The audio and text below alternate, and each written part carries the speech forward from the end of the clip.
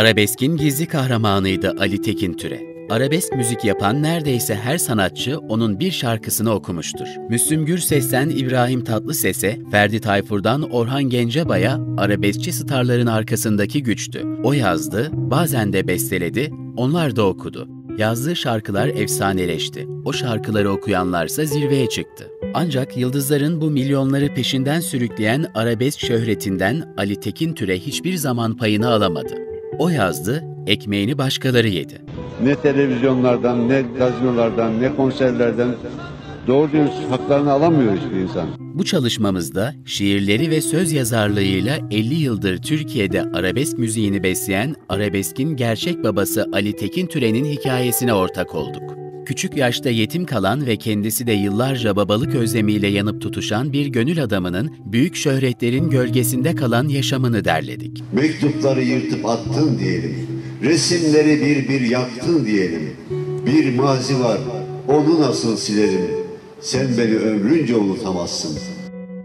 Ali Tekin Türe 1953'te Adıyaman Besni'de doğdu. Babasını küçük yaşta kaybetti. Yetim kalan 8 kardeşiyle İstanbul'a göç ettiler. Önce Haznedar, ardından Aksaray'a yerleştiler. Gençliği burada geçti. Zengin bir aile değildik. Kardeşlerimle ben İstanbul'a gelmişiz. Hayat mücadelesi içindeyiz. O duygularla genelde yazıyorum. Hayat şartları yüzünden ilkokuldan sonra okuyamadı. İşportacılık yaptı, kapalı çarşıda naylon poşet sattı. Daha sonra üvey amcasının kuyumcu dükkanında çalışmaya başladı.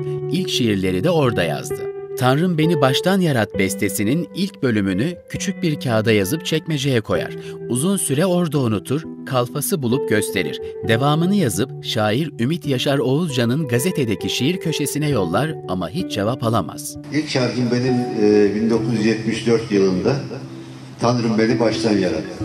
Askerde olduğum bir zamanda yayınlanmış ve çıkmıştı. Sonra askere gitti Ali Tekin Türe. 1974'te şiirin çok meşhur bir şarkı olduğunu arkadaşlarından öğrendi. Tanrım Beni Baştan Yarat şarkısını Emel Sayın da okumuştu. Ancak kasette adı yoktu. İlk şiirimi yazdığım ilk şarkım çıktı. Sevinemedim çünkü ismim yazmıyor.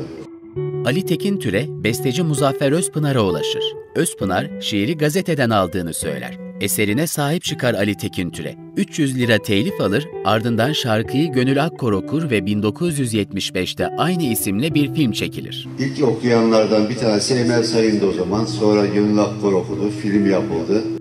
Ali Tekin Türe yavaş yavaş sanat camiasında tanınmaya başladı. 1978'de Dilek Taşı şarkısı ve aynı isimli film Gülden Karaböcek'e şöhret kapılarını açtı. Ardından şimdilerde statlarda marş olan Sürünüyorum şarkısı geldi. Müslüm Gürses'ten Orhan Gencebay, e, İbrahim Tatlıses, Ferdi Özbeğen, Ferdi Tayfur, Kamil bir- birçok kişi okudu. Birçok arabeskçi Ali Tekin Türen'in şarkılarıyla çıkış yaptı. Usta yazar yıllar sonra bir röportajında bu duruma dikkat çekecekti. Bakın Bülent Ersoy'un çıkışı benimledir. Baharı bekleyen kumrular gibi. Toprak alsın muradımı şarkılarıyla çıkış yaptı. İbrahim Tatlıses'in ilk okuduğu arabesk şarkı Seni Yakacaklar, Gülden Karaböcek'in Dilek Taşı, Sürünüyorum, Kırılsın Ellerim Benimdir. İzzet Yıldızhan'ın tanınmasına vesile olan Yine Benim Birisi adlı şarkımdır. Coşkun Sabah iyi bir besteci, iyi bir udidir ama çıkışı benim verdiğim şarkı sözleriyle olmuştur. 100 sanatçıyla çalışıyorsanız belki 10 tanesiyle ancak tanışmış olabilirsiniz. Nihayet 1978'de yolu Müslüm Gürses'le kesişir. Toprak Alsın Muradımı şarkısıyla başlayan bu ortaklık uzun yıllar devam edecek ve arabesk müziğini zirveye taşıyacaktı. 1980'den sonra çıkan neredeyse her Müslüm Gürses kasetinde onun imzası vardı. Hit olan parçaların çoğunun sözleri Ali Tekin Türe'ye aitti. 1987'de Yavuz Taner'in bestelediği ve yılın şarkısı olan Gitme sadece onlardan biriydi. Benim hayatım yokluktan gelip babası vefat etmiş bir insanın hayat mücadelesi. Çoğu kimse zanneder ki ben üniversite okudum. İlkokulu bitirdim ve bırakmak zorunda kaldım. Babam vefat ettikten sonra 8 kardeş İstanbul'a geldik. Çok zor zamanlardan geçtik herkes gibi. Benim anlattıklarım benim hayatım değildir de hissettiklerimdir. Ah edip adını her anışımda, bir kerem misali her yanışımda, bir hayal olurum yanı başında. Yavuz Taner, Burhan Bayar, Ali Tekin Türe ve Müslüm Gürses ortaklığı 80'li ve 90'lı yıllarda arabesk müziğe altın çağını yaşattı. Gitme, aklı yok, hakkını helal eyle, güldür yüzümü, ben senin kulun muyum, senden vazgeçmem, hangimiz sevmedik gibi dillere destan olan şarkıları o yazdı, Müslüm Gürses söyledi. Tabii biz bir parçanın e, bütünün parçalarıyız. Yani sözü, müziği, belki aranjesi, e, okuması hepsi bir bütün olursa güzel oluyor.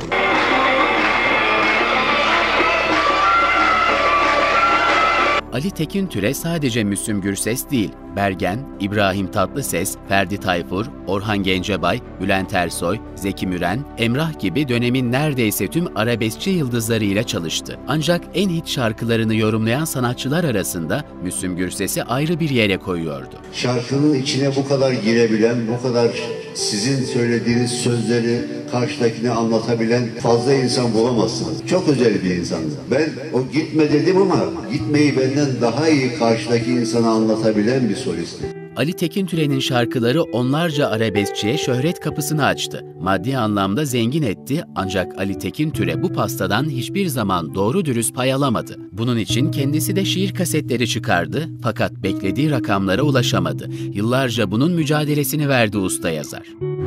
Sanatçılarla fazla sıkı fıkı olmadım. Yani mümkün değil, olmuyor. O vefa yok. Gördüklerinde saygı gösterirler ama onun haricinde başka bir şey bekleyemezsin. Halbuki bizim o insanlardan maneviden ziyade maddi alacağımız var. Telif haklarımız var. Şarkılarımızı her yerde söylüyorlar. Yanlarında götürdükleri enstrümana para veriyorlar ama bize vermiyorlar. Yıllar yılı bu böyle oldu. Benim ve arkadaşlarımın bazı kişilerden trilyonlarca alacağı var. Ne mane, maddi olarak haklarımızı alabildik ne manevi olarak. Sadece yapımcılara değil, şarkılarını yorumlayan sanatçılara da sitem ediyordu Ali Tekin Türe. Bir vefasızlık var. Ne kadar bir geri dönüşü olsa da her şeyi kazanıyorlar. İsim, sevgi, saygı, para, şöhret gibi. Bize geri dönüşü hele de maddi boyutta yok gibi. Bir süre sonra küskün bakmaya başlıyorsunuz insanlara. Kuşkuyla bakıyorsunuz. Acaba bu da mı onlar gibi olacak? Bakın şöyle örneklendireyim. Bir ara şarkı söyleme yarışmaları vardı televizyonlarda. Orada şarkılarımı okuyorlardı. Ben rahatsız oluyordum. Biliyorum ki orada büyük rantlar dönüyordu ve bize dönüşü neydi biliyor musunuz? Okunan şarkı için 6 lira. Ben rahatsız olmaya başladım ve okutmayın diye ihtarname çektim. İsimlerimiz biliniyor ama yine de yeterli değil. Şarkıları sürekli başka başka kişiler tarafından yeniden yorumlanan ve televizyon programlarında her gece söylenen usta yazara bunun için verilen para bazen onur kırıcı oluyordu. Bunun son örneği Funda Arar'ın seslendirdiği Benim İçin Üzülme şarkısıydı. Funda Hanım'ın okuduğu Benim İçin Üzülme şarkısı benim bir eserimdir. Daha önce Bergen'e vermiştim. Bu işten benim payıma düşen 7 liradır. Dolayısıyla bu piyasada ne yaparsanız yapın, gereken değeri göremiyor, hak ettiğinizi kazanamıyorsunuz. Türkiye'deki telif haklarının geldiği yer belli. Hale yüzde onlar seviyesinde dünyaya baktığımız zaman Onca ünlü şarkıcıya verdiği eserlere rağmen Ali Tekin Türe 13-14 sene sigortasını dışarıdan yatırarak sonunda kendi imkanlarıyla emekli oldu. Gülten Hanım'la evlenen Ali Tekin Türe milyonların gönlünde taht kuran Senden Vazgeçmem ve Gitme şarkısını eşine yazdı. Çok istemelerine rağmen bir çocukları olmadı. Arabeskin babası yıllarca babalık hasreti çekti. yıllar sonra bu yara yeniden kanar. Ona bir şarkı yazarsın. Ömrünce unutamazsın diye. Son yıllarda unutulmaktan, yok sayılmaktan şikayetçiydi Ali Tekin Türe. Herkes eski şarkılarının peşindeydi, kimse yeni eserler için kapısını çalmıyordu. Halbuki yazmaya, üretmeye devam ediyordu. Merak etmeyin arabesk bitmez dedim. Çünkü bizim hayatımız zaten arabesk.